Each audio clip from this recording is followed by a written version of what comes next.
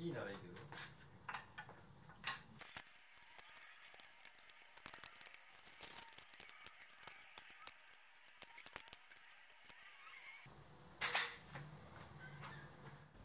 こんばんは柳です。今回は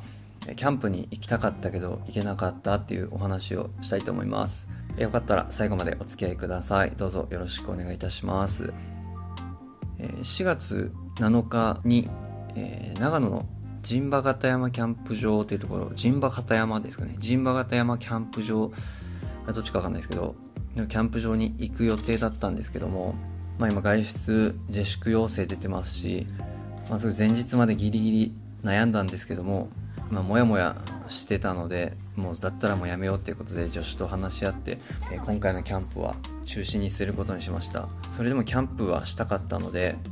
まあ、ベランダに出てお家のベランダで夜と朝ご飯だけ食べるようにしました。映像はその時の映像ですね、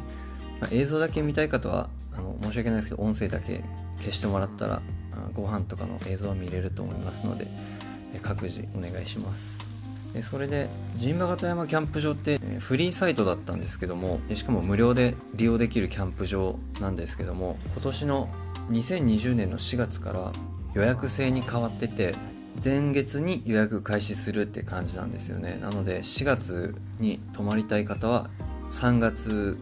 から3月末まで予約が取れるっていうようなシステムに変わってました。今までは予約なしに行って早もん勝ちのキャンプ場だったんですけども今年の4月から変わったみたいですね。でそれで、えーと役場のサイトから予約できるんですけども当日の4月7日の1週間前ぐらいからちょこちょこ役場からメールが届くようになってて、まあ、今回の、まあ、コロナの騒動で、ま外出自粛出てるので、まなるべく控えてくださいというような内容のメールがちょこちょこ届いててでキャンプ場自体も4月9日ですかねこの音声撮ってる4月9日以降はおそらくもう予約が取れなくなってると思うんですよね。それまでは普通に僕は行ける状況だったんですけども、まやっぱりメールでもお住まいの各自治体の要請に従って行動してくださいっていうことを書いてました。でキャンプ場自体も、えー冬場で冬季なので冬季期間はあの手洗い場が使えないようになってて水があの手が洗えませんっていう状況です。でそれとあとアルコール等も置いてないので衛生管理がちゃんとできる状況ではないので、まあ、各自アルコール消毒、まあ、ウェットティッシュなどちゃんと各自用意してキャンプしてくださいっていう感じになってました。いやもうすごく行きたかったんですけど残念でしたね。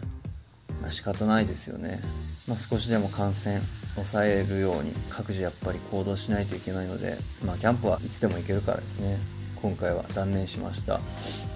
皆さんはキャンプされる方どうしてますか？今実際行ってる人はいるんですかね、まあキャンプ自体は感染のリスクは低い方だとは思うんですけどね。ただやっぱりトイレとか手洗い場とかは危ない気はしますね。あとすごく人気なキャンプ場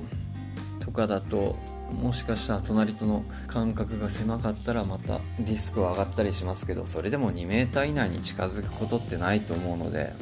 まあ、例えば10人とかそれぐらいで行ってその中に感染者がいたらそれは危ないかもしれませんけどね。家族とかカップルとかだと、まあ、リスクは低い気はしますね。いや行きたかったですね。もう本当に。いつ収まるんでしょうね。まあ1年とか1年半とかそれぐらいかかりそうな気がしますけど落ち着いたら行きたいですね。まあ今回は仕方ないので諦めましたけどもで実際ベランダでちょっとご飯を食べてみたんですけどもベランダでも十分面白かったですね。まベランダでご飯はもともと何回か食べたことあるんですけども今回はちゃんとがっつりキャンプ風にしようと思ってランタンとかそういうの全部出して全部明かり家の明かりとかを消してやったのでよりアウトドア感が出て楽しかったですね。メニューは、えー助手が作ったポテトサラダとあとはえっ、と海鮮のアヒージョですかね。じゃがいもとあさりとイカとあと何だったかな。あと、まあ、エリンギとかキノコ類入れたアヒージョとあとそれの油をつけて食べるパンとあと肉ですね。赤身ランプ牛のランプ肉をロースト風にして食べましたね。でそれとデザートにオレンジですね、まあどれも美味しく食べれましたね。お酒は去年の夏に地元から梅が届いたのでそれでウイスキーをシーバスリーガルが好きなのでシーバスリーガルにつけて作った梅酒を飲みました。で炭酸水買うの忘れたので助手は水割りにして僕はそのままストレートで飲みました、まあ、どれも美味しかったですね。で僕が住んでるところが田舎の方なので、まあ、車の音もあんまり聞こえずベランダでも、静かにいい時間が過ごせましたね、ま、ただニンニクとか焼いたのでもしかしたらお隣さんとかは臭い臭いかな臭いかどうか心配しましたけどまあ多分大丈夫だったと思います。今は本当にネガティブなニュースばっかり流れてますよね。ちょっと気持ち的にも落ちやすい時期なのかなとか思ったりしますけどでもそれでもなんか本当何考えてるか分かんないですけど繁華街で騒いでる人たちはまだ未だにたくさんいますよね。感染経路不明の人たちももしかしたら言いたくても言えない状況で感染してる場合とかもあるでしょうしね。家族にはちょっと内緒にしたい状況で感染してる場合とかもあるから、まあ、その辺ちょっとはっきりしてほしいですよね。まあすぐは収まらないと思いますけどもストレスたまらない程度に皆さん各自予防は継続していきましょうね、